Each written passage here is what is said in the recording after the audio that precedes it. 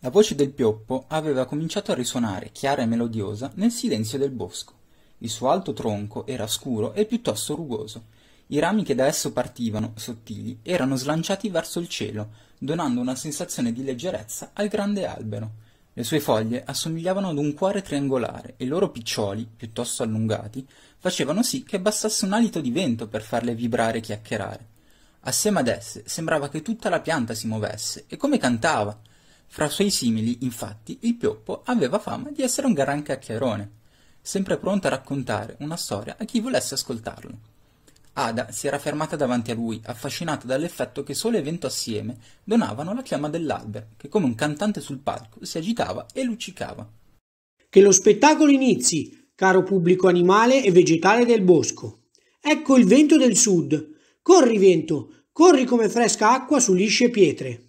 Alla bambina sembrò che i riflessi sull'albero si fossero fatti rossicci, mentre immagini di luoghi lontani e profumi sconosciuti l'avvolgevano in un gradevole caldo abbraccio. Ecco che dai biondi oceani d'erba secca della savana si erge un verde faro.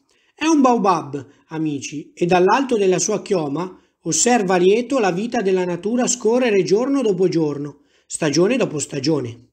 A suoi piedi si raduna il fiero popolo dei leoni per eleggere il nuovo re mentre fra le sue radici si fermano a riposare antilopi e zebre dopo una faticosa giornata della savana, raccontandosi le scene vissute sulle sponde del grande fiume, dove gli animali d'ogni specie si riuniscono per bere. Sono proprio questi i luoghi in cui ognuno ha il suo compito da svolgere e lo rispetta.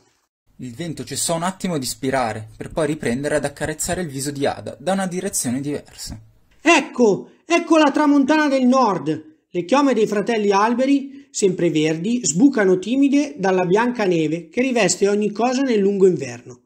Ogni animale ha tinto il proprio pelo di bianco per danzare libero assieme ai fiocchi che roteano nel fresco pungente. Il vento cambiò direzione e dalle cime degli alberi lì attorno sciami di samare s'alzarono in volo, brillando della luce del sole e dell'azzurro dei cieli e ricadendo come neve.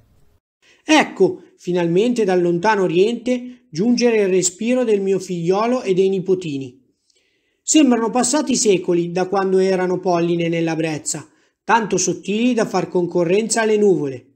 Che bel posto hanno scelto i miei semi per maturare, cadere e germogliare. Vedo tante chiome di alberi sconosciuti e lussureggianti a un lungo più vasto e limpido dell'orizzonte. E il pioppo aveva smesso di raccontare, con una semplicità tale che sembrava mai avesse incominciato a farlo. Il vento era calato e l'albero era tornato immobile, come in ascolto del silenzio. Ma come fai a conoscere tutte le lingue di questi luoghi? E poi, non vuoi sapere come stanno i tuoi cari lontani? Mia cara, la lingua degli alberi è una sola. Posso comprendere tutti i miei fratelli alberi. Inoltre, potendo viaggiare senza mai spostarmi, ho presto imparato il piacere dell'attesa. Prima o poi il vento tornerà da me. Con altri racconti non ho fretta. Anche se ne avessi, dovrei piazzentare. È solo grazie al vento se posso sentire e vedere molto più lontano di quanto possono fare le tue orecchie, i tuoi occhi le mie, o le mie radici. Per quanto riguarda i miei discendenti, voglio loro bene ma come lo voglio ad ogni altra creatura che popola il mondo. Su questo pianeta il futuro di ogni essere vivente è legato a quello di miliardi altri altri sorelle e fratelli terrestri. Ciò non è chiaro quando si vedono e vivono sempre gli stessi luoghi, le stesse persone, ma quando si viaggia, la rete che ci lega tutti quanti appare tanto chiara e dolce.